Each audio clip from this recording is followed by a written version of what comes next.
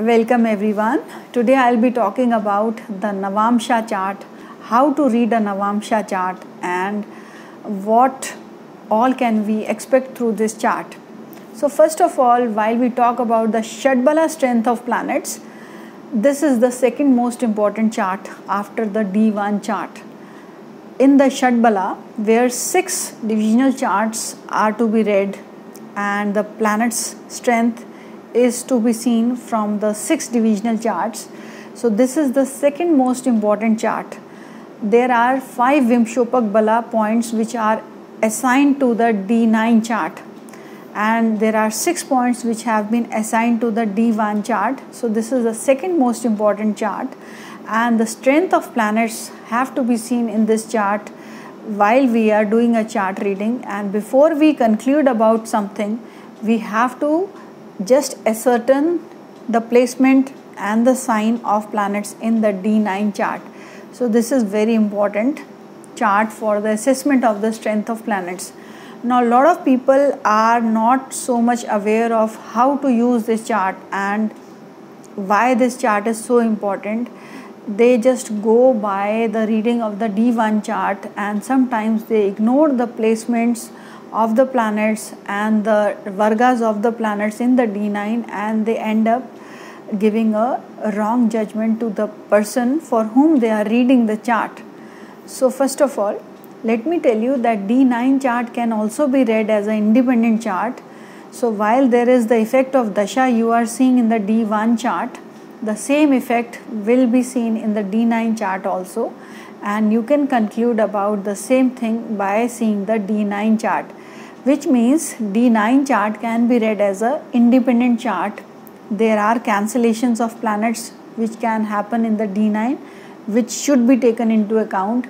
There are debilitations also which are there and they can be cancelled in the D9 when you are doing a separate chart reading uh, when you are considering it as a independent chart at that time the cancellations can happen and everything uh, that you take into account in the D1 chart can be taken in, into account in the D9 chart also.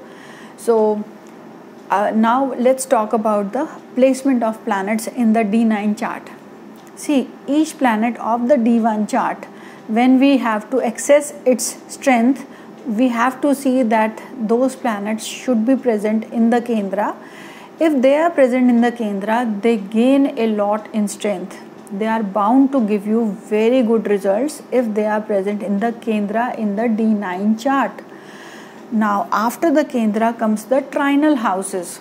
So if the planets are placed in the trine house of your D9 chart then also the things for you related to that planet becomes easy and you do not have to struggle much in the dasha of that planet if they are placed in the Kendra or trinal houses. After that comes the second house and the 11th house. These are the second good houses in terms of placement for any planet in the D9 chart. The second house will give you uh, opportunities to create wealth and the 11th house is also a Upche house and it will also give you opportunities to create wealth. So these two houses are considered as the second good placement for a planet after the Kendra and trinal placement in the D9 chart.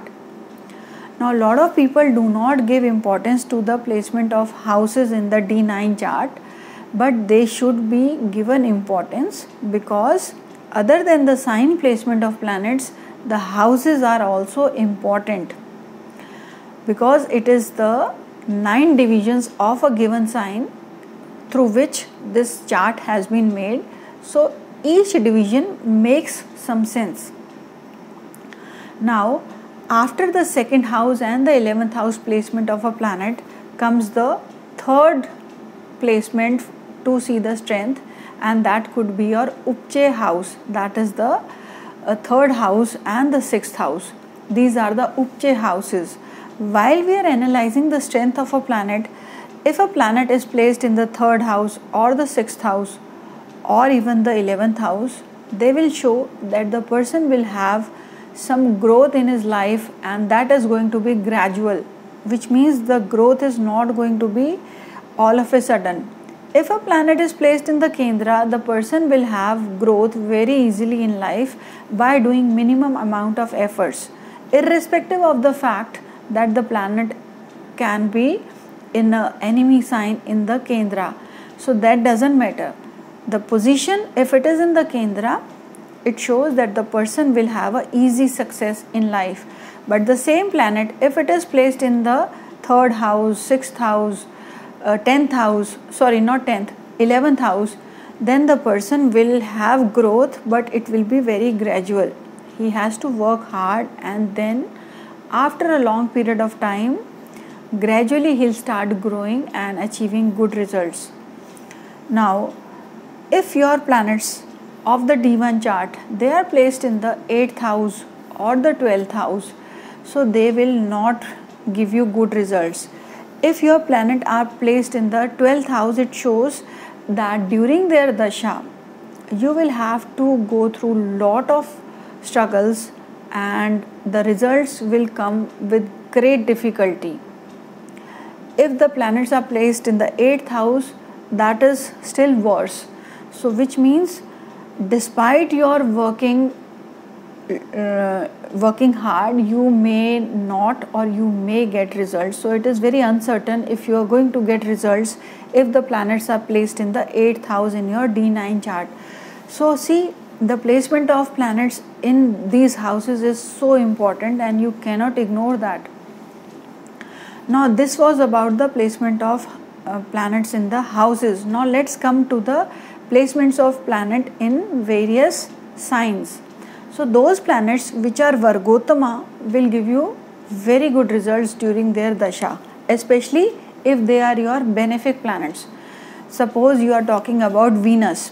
Say Venus is in the sign of say Taurus in your D1 chart. That's that is its own sign also.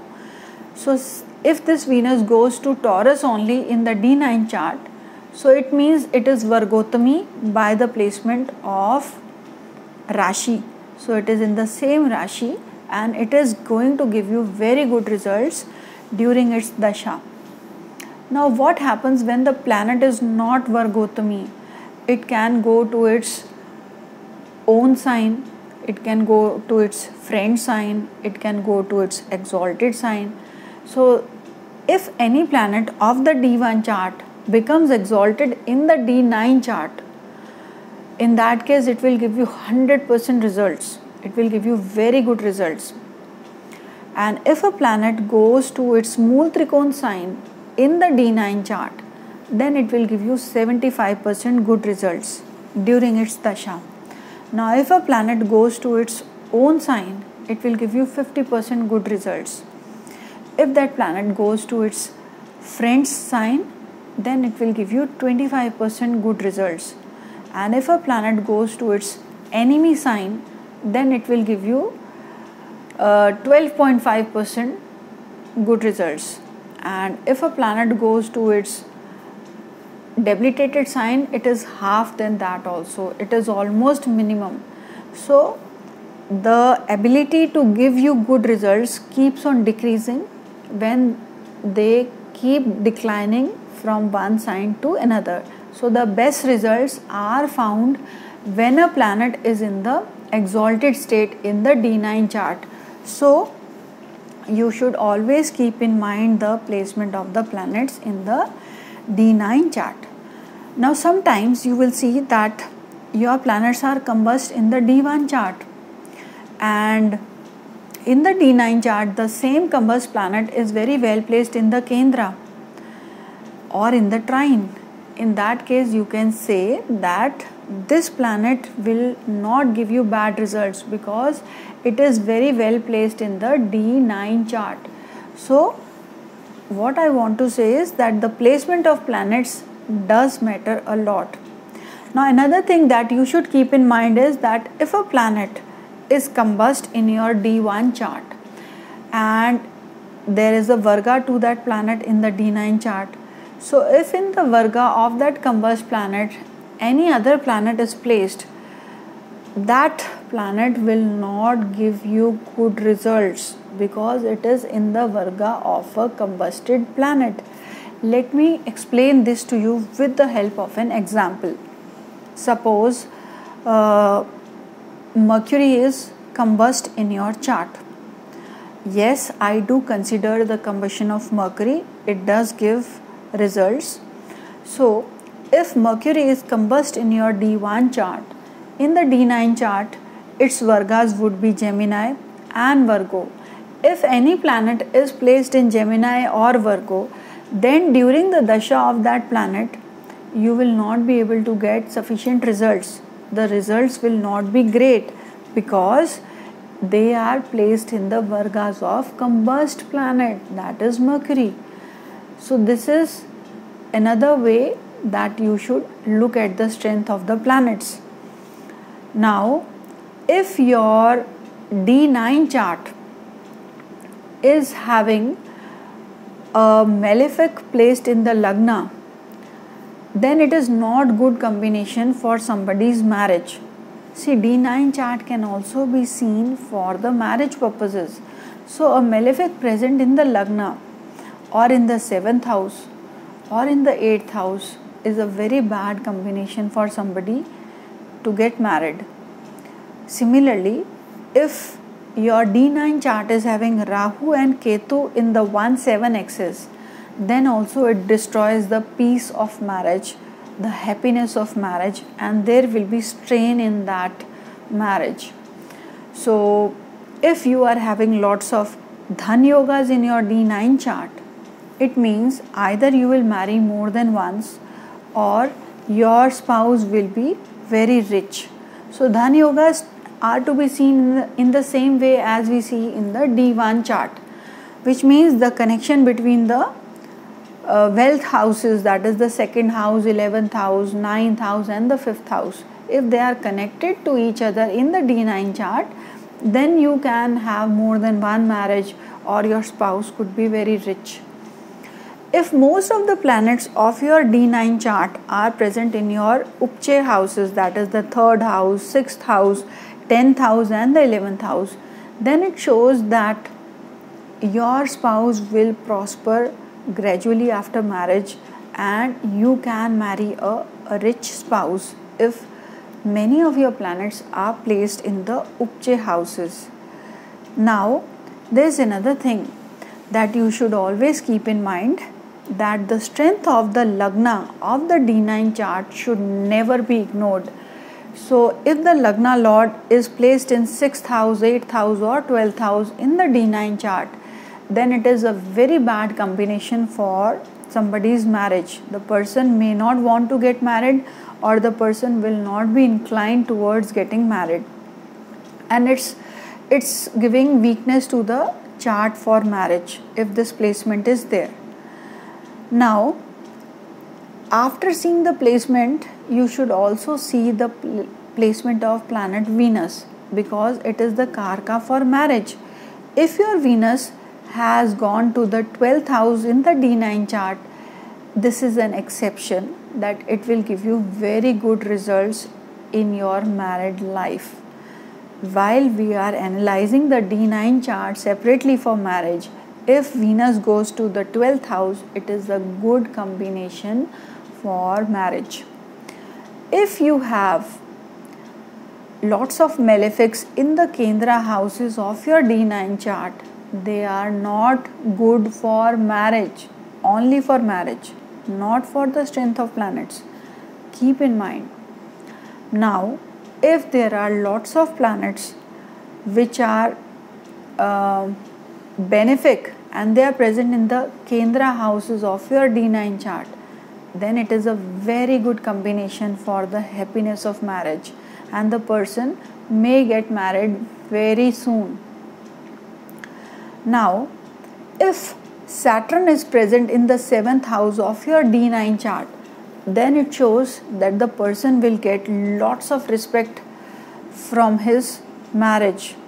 It could be coming through the in-laws also if sun is present in the first house of your d9 chart then also you will get lots of respect in your marriage and you will have lots of authority in marriage. If Jupiter goes to the fourth house of your D9 chart, then it shows that you will get tremendous amount of happiness through this marriage. Now, if Mercury has gone to the sixth house of D9 chart, it shows that there would be lots of rifts in the marriage. Because sixth house is natural house of Mercury and its placement is not considered good for marriage if it is in the sixth house. Now, this is how you have to see the D9 chart for marriage purposes.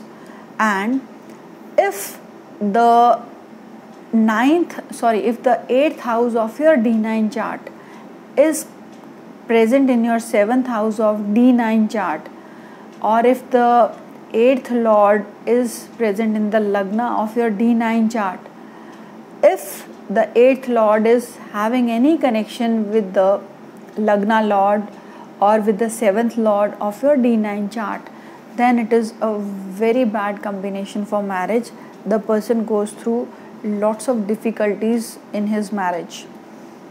Another thing is that if in your D1 chart, if in the D1 chart, the planet which is present in the 8th house becomes very strong by being placed in the Lagna of your D9 chart then it is very bad combination for marriage and it will give you lots of difficulties also similarly if your eighth lord of the d1 chart i'm talking about the eighth lord now if that lord aspects the lagna or is present in the lagna of your d9 chart this is also a very bad combination for marriage.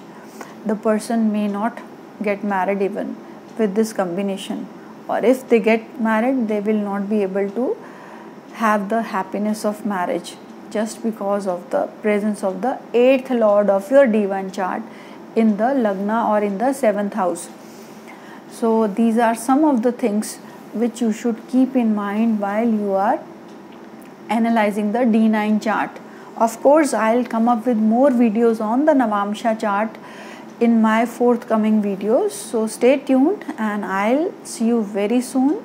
Thank you for listening and please do share and press the like button if you think that this video was useful for you. So thank you friends for listening.